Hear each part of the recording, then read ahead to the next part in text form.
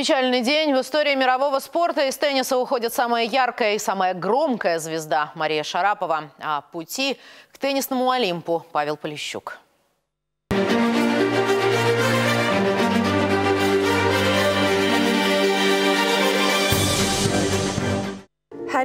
Как проститься с единственной жизнью, которую ты когда-либо знала? Как уйти с кортов, на которых тренировалась с самого детства? От игры, которую любишь, которая принесла тебе скрытые ото всех горькие слезы и неописуемую радость. Для меня это в новинку, так что простите меня. Теннис, прощай. Этого дня в теннисном мире, конечно же, ждали, но надеялись, что все случится намного позже.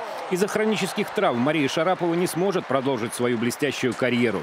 Нам будет тебя не хватать. Вот такое настроение сейчас в мировом теннисе. Мария заслуживает аплодисментов. У нее удивительная сила воли. За последние пять лет на нее свалилось слишком много проблем.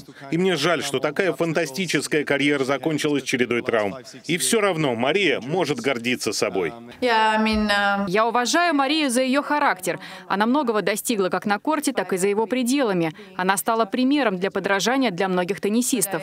Я просто желаю ей всего наилучшего. Нягонь – городок нефтяников и газовиков в Тюменской области с населением всего 55 тысяч человек. Именно сюда Юрий Шарапов привез в 1986 году свою беременную жену из Гомеля, спасаясь от чернобыльской радиации. Два года спустя на рынке резко упали цены на нефть. Вместе с ними сократились и заработки. Отец Маши принял нелегкое решение бросить все и перебраться в курортный Сочи. Там-то будущая звезда и познакомилась с любовью всей своей жизни – с теннисом. Так курортный роман стал служебным. Заявление от Юрия Шарапова, папы Марии Шараповой, Марии Юрьевны, о поступлении в нашу школу. 1 сентября 1991 года.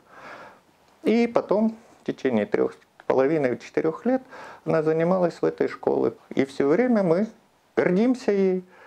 В Сочи Юрий Шарапов подружился с Александром Кафельниковым, отцом будущего олимпийского чемпиона Евгения Кафельникова. Тот подарил Маше старую ракетку сына, и она стала для нее счастливой.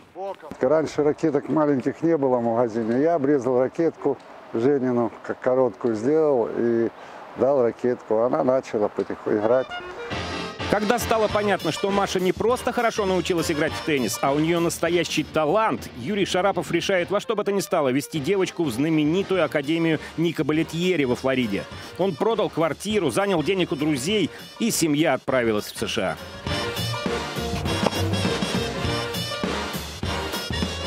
Марии удалось произвести впечатление на американских тренеров, которые были поражены ее уникальным талантом. В Академии Шарапова познакомилась с Динарой Сафиной, с которой проведут бок о бок не один год в сборной России.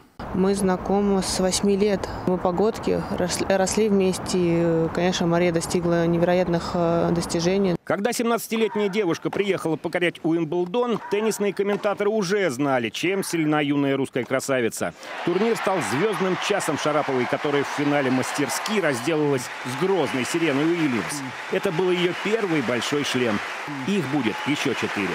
Она боец, она ставит перед собой ставит, ставит э, всегда самые высокие цели, и она умеет жертвовать многим, чтобы добиться этих целей. Мне кажется, это главное качество, которое ее отличало, отличает от других. То, что на корте Шарапова, можно понять и с закрытыми глазами. Громкость ее криков равна 105 децибелам, больше, чем у 737-го Боинга. На самом деле резкий выдох, который может сопровождаться звуком, увеличивает резкость и силу удара. Таким же приемом пользуются и каратисты.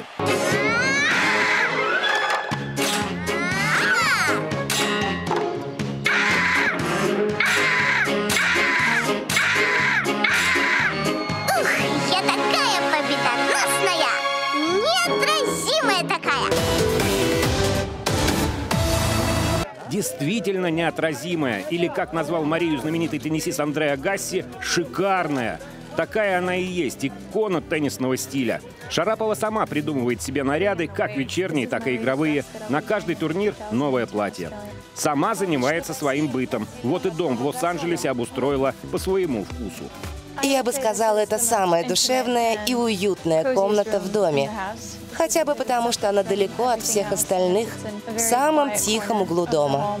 За Шараповой всегда выстраивалась целая очередь рекламодателей, но она представляет не только продукцию известных компаний, но и свой личный бренд – Шугарпова. Кроме всемирной славы, теннис научил ее стратегии, тактике, стремлению к успеху. Вот Маша этим и пользуется. Дело процветает, конфеты по рецепту ее бабушки продаются по всему миру. Ей всего лишь 32 года, она уже супер успешная. И в то же время, как бы, она уже очень много сделала, в то же время жизнь только начинается. То есть у нее впереди огромный путь. Это на самом деле очень круто, и эм, она большая молодец. Бизнес бизнесом, но свою жизнь после тенниса Мария видит по-другому. Очень хочется создать семью, стать мамой. Шарапова встречается с британским бизнесменом Александром Гилксом. Он считается одним из самых завидных женихов Великобритании. Как знать, может быть, уход Марии из спорта напрямую связан с тем, что свадьба не за горами. Александр – миллиардер, но и у Шараповой неплохое приданное. По данным Forbes, теннисистка занимает первое место по доходам среди российских спортсменов. За последние десятилетия она стала богаче почти на 198 миллионов долларов. На втором месте в этом списке еще один россиянин, который проживает в США. Александр Овечкин заработал 137 миллионов, но в отличие от Шарапова хоккеист расставаться со спортом пока не намерен.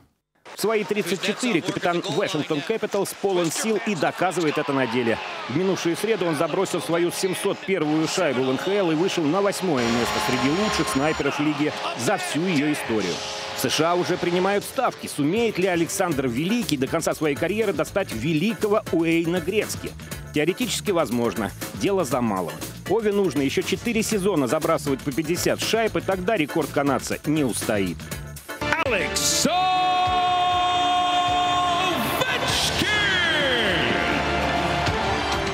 Его обожают болельщики. Руководство команды тоже им довольно. В семье все отлично. Александр с супругой ждут второго ребенка. Живи, радуйся, забивай. Павел Полищук, Ксения Крихели, Ольга Воронкова. Программа «Вместе».